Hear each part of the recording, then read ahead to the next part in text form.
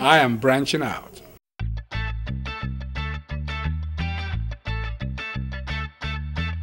I'm Dottie Peoples, and you're watching Branching Out. Hi everyone, I'm Gloria Govan from Bass Wives LA, and you just caught me on Branching Out. Hi, we're the Braxtons, and you're watching Branching Out. You are watching Branching Out. Wow, you look beautiful. Thank you. All right, hey, it's Blair Underwood watching Branching Out.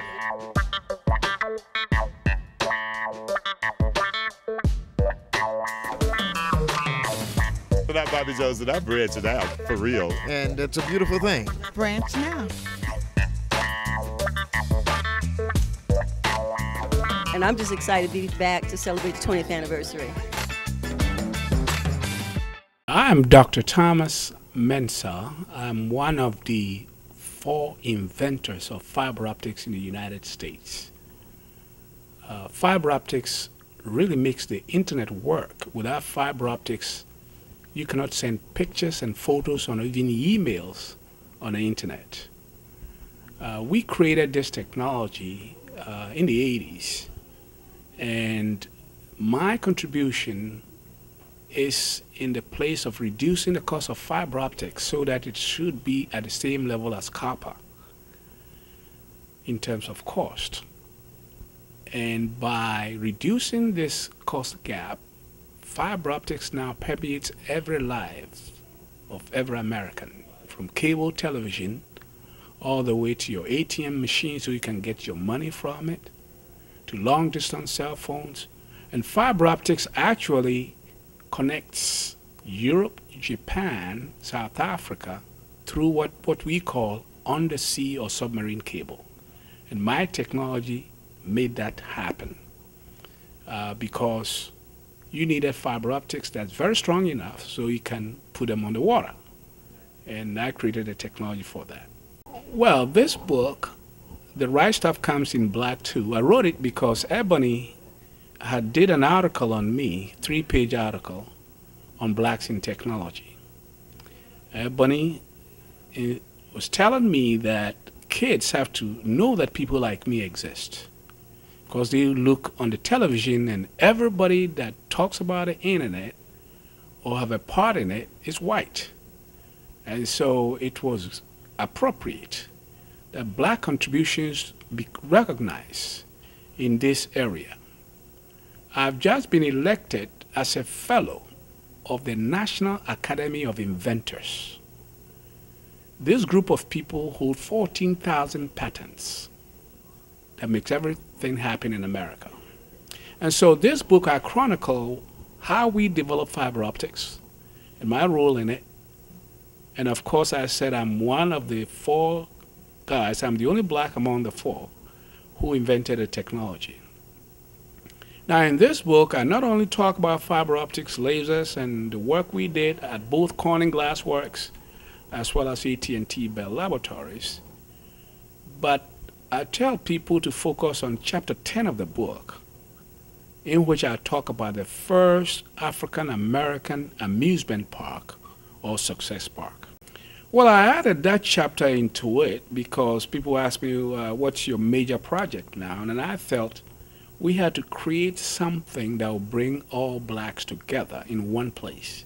So blacks can be at this park and feel very, very proud. All the streets in the park are named after African Americans. You have Mandela Highway, you have Dr. King Highway, you have Malcolm X Boulevard, you have Muhammad Ali Boulevard.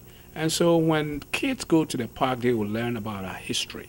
And, and actually, the fact that after 200 years, uh, we've succeeded in America show that blacks can make things happen. That is why the right stuff comes in black too. Now in this park, if you take a helicopter and look down on the park, it is shaped like Africa. And kids going to the park should be able to do their DNA first, get in the park. If their DNA says they are, they are from South Africa or the Congo or from Ghana, they can go to the section of the park and be dressed like they are in Ghana or in Congo and eat the food, dress like they are in Ghana without spending a dime to travel to Africa. And this means all kids who don't have the money to do so can now enjoy all these experiences and their cultural heritage inside this park. We want to, we are now promoting a movie based on the park.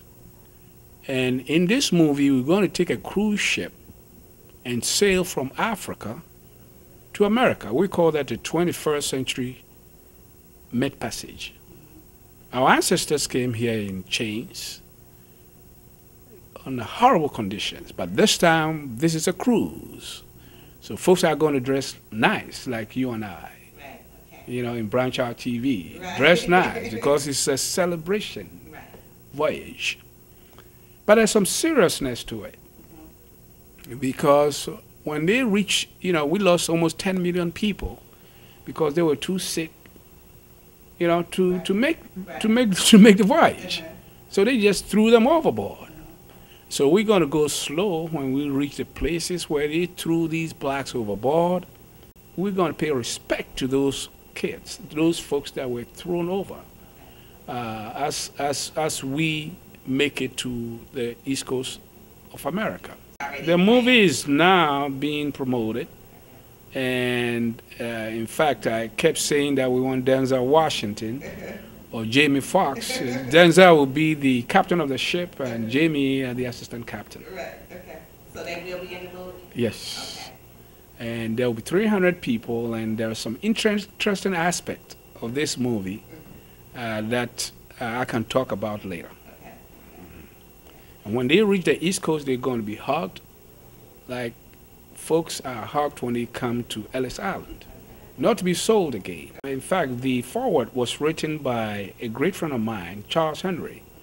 Charles is a vice president at uh, Verizon, and he's African American. And in the in the foreword, as you see, Charles compare this work and what I've done to the work of Bill Gates, founder of Microsoft, the work of Vint Cerf, one of the creators of the internet, the work of uh, Mark Zuckerberg. So he compares what I've done because without fiber optics, Google and all those companies wouldn't exist.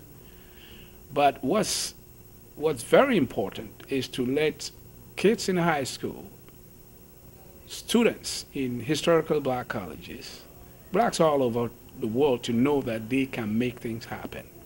They have the ability to do anything that anybody else can do. Right, They have to focus and get it done. that's right. So, I mean, I tell people getting seven patents or inventions in six years, it takes people 10 years to get one. So you get seven in six years in fiber optics, that's serious. Now, this park is going to have a lot of fiber optics in it because there will be interactive uh, walls and interactive uh, panels throughout the park. So a little kid can go into the park. Let's say he wants to be an astronaut, he touches the screen and it's touch sensitive, an astronaut will show up. Eight year old seeing a black astronaut doing spacewalk. Or a little girl, six year old, touching the screen and seeing a black person doing surgery that looks like her. Hopefully, this is going to really impact them and let them pursue science and STEM subjects. So, this park is going to be important for us. It's going to show what we can do.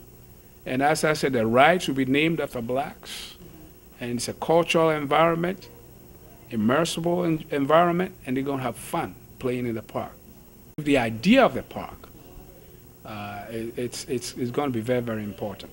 You know, having a park, not just a museum, a park that, that is as good as Disney, except that when we go there, we see something that looks like us. This whole concept is so successful that even the Chinese want us to do one for them and people in Japan want us to do one. So when you go on the internet and, and, and, and then put in Google Success Park Japan, you will see what we are doing we're doing in Japan. Success Park China, you see what we are doing in China. And of course, ours is called Success Park USA. And we'll do some interesting things in Washington, D.C. because it's Black History Month. And you are the first, uh, Branching Out is the first television show to get us. To get you, Yeah, see? on Oh, Black History. Month. Yeah, yeah. I mean, I don't want to let a cat out of the bag, but it's going to be fascinating. You know, 300 people to get on the ship. And they'll be asked, why are you getting on the ship? My ancestors got on the ship so like what's this. the name? What's the name of it? What's, oh, I was just looking. Use something else. Right now, I'll, I'll call it. I'll, I'll, I'll call it Success Park Cruise Cruise Ship Movie. okay. But I'm that's- that. yeah. We go for that. Yeah, we go for for right now. Yeah, for right now. But we'll give you details later. Okay. It's going to be more fascinating. You More know, fascinating. Okay. more fascinating. Okay. You know, more fascinating. You're tempting me too much. You know, because yeah, yeah, yeah,